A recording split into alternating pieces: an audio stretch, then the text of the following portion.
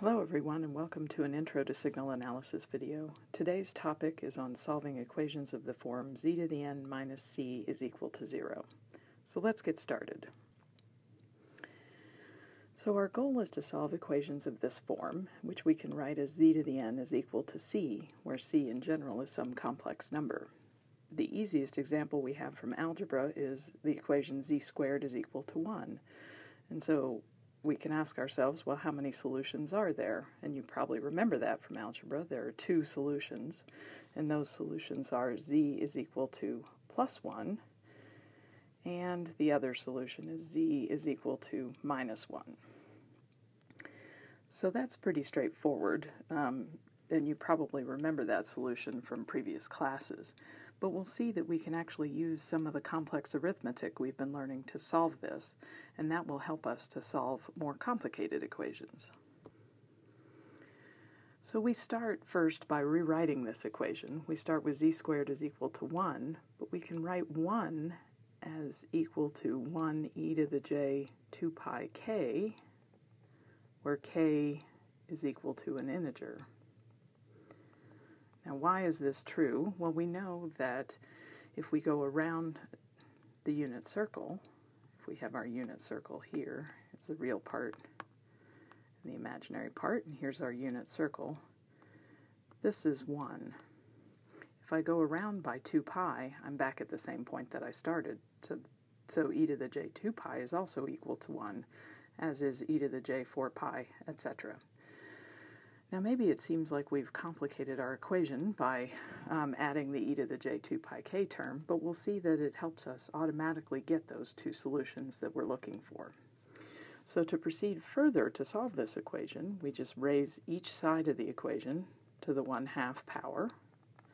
So z squared to the 1 half and 1 e to the j 2 pi k raised to the 1 half. Well, z squared to the 1 half is just z, so that's what we're looking for. Um, and then we end up on the right-hand side with 1 to the 1 half and e to the j 2 pi k over 2. All right, well, 1 to the 1 half, that's our radius, and that's just going to be equal to 1. And then we're going to be left with e to the j 2 pi over 2 cancels, so we get e to the j pi k, where again, k is an integer.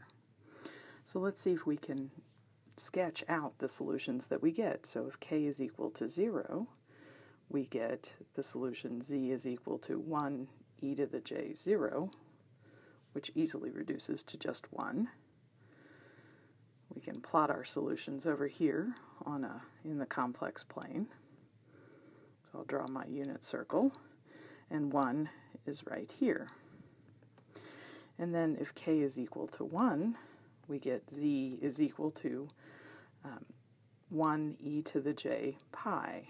Well, 1 e to the j pi is on the radius of a circle of radius 1, but it's located pi radians. So it's located pi radians around here um, from, from the starting point here. And so it's located right here, and that's minus 1. e to the j pi is minus 1.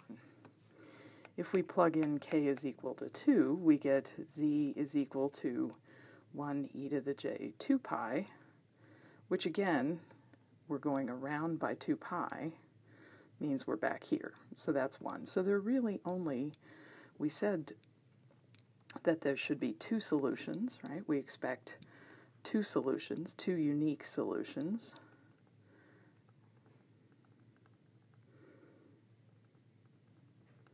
We expect two unique solutions, and that's exactly what we got out of this. So we complicated the equation, or it seemed we made this equation a little more complicated, but we got the two solutions that we wanted. Now, if this was the simple equation we were aiming to solve, we probably didn't need to go through all of this. But for slightly more complex equations, we are going to need to do this, and this was a good example to get started on. So let's consider a different example. So let's consider this case. So now it's a little more complicated. We're going to look at z cubed. z cubed is equal to 27. So the first thing we ask ourselves is how many solutions do we expect? Well, if it's a third order polynomial, because we have the z cubed, then we should expect three solutions, so three unique solutions.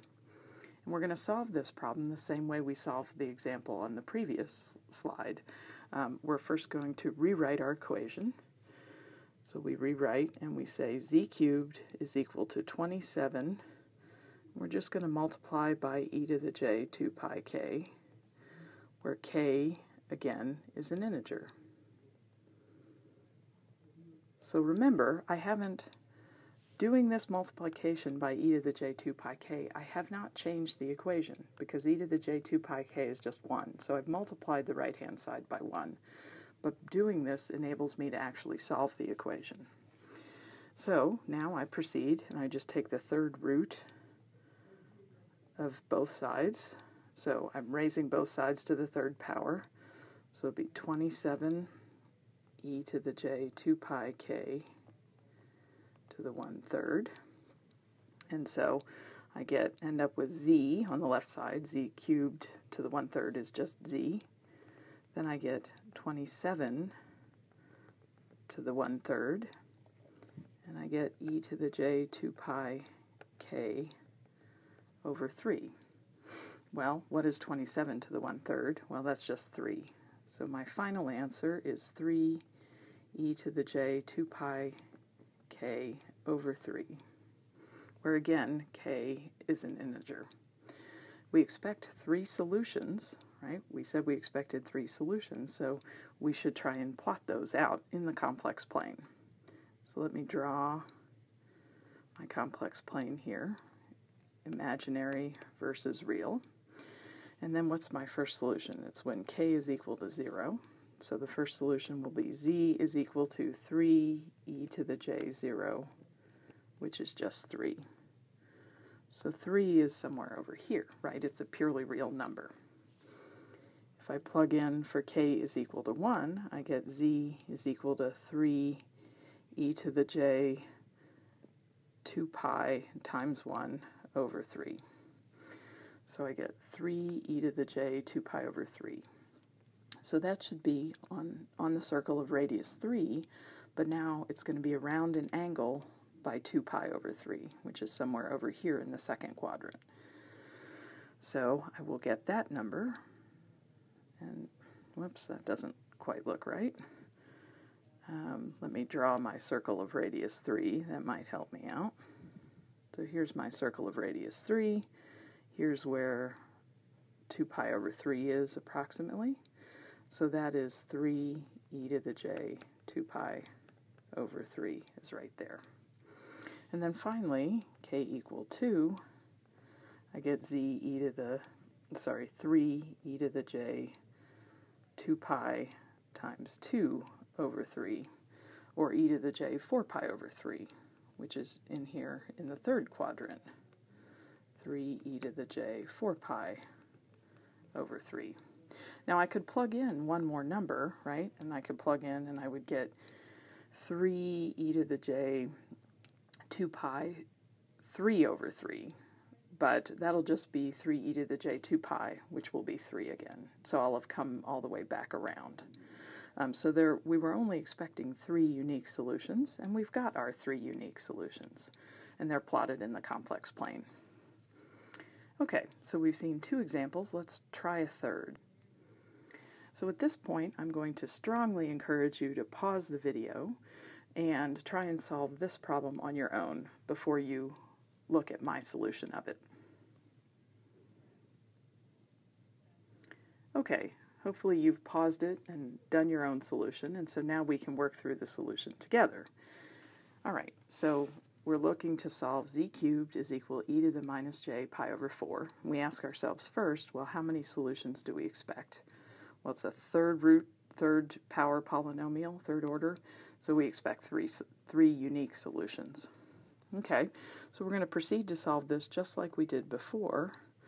To write z cubed is equal to e to the minus j pi over 4. And again, I'm just going to multiply by e to the j 2 pi k, where k is an integer. And remember, I'm not changing the right-hand side of this equation because e to the j 2 pi k is just simply equal to 1. So I've multiplied by 1, which is a perfectly valid thing to do. Now I take the root of both sides, so z cubed to the 1 third is equal to e to the minus j pi over 4 e to the j 2 pi k to the 1 third. And I can just bring the 1 third power in to both of those, and I end up with e to the minus j pi over 12 times e to the j 2 pi over 3.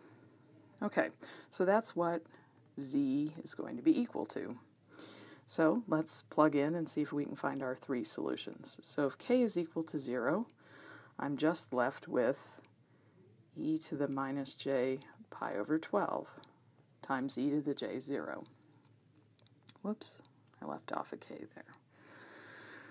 So the first solution is e to the minus j pi over 12, so we can figure out where that is in the complex plane. And it's got, remember this is a, a magnitude of 1, so it'll be on the unit circle. And it's um, got a phase angle of minus pi over 12, which will be right down here somewhere in the fourth quadrant, right? That'll be e to the minus j pi over 12. What about k is equal to 1? Well, we'll be left with 1 e to the minus j pi over 12 times e to the j 2 pi over 3, which we could rewrite this, right? e to the minus j pi over 12 plus this will be 8 pi over 12, right? So it'll be e to the plus j uh, 7 pi over 12, right? Um, so where is that going to be?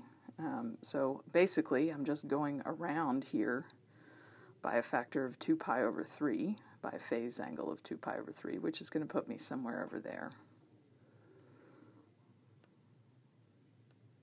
So this will be e to the j 7 pi over 12. Okay, um, so now um, we just have one more to solve for. It's k equal 2 and this will end up being 1 e to the minus j pi over 12 times e to the j um, 4 pi over 3, right? Um, so 4 pi over 3, just multiply top and bottom by 4, I get uh, 16 pi over 12. Um, so this will be e to the j 15 pi over 12.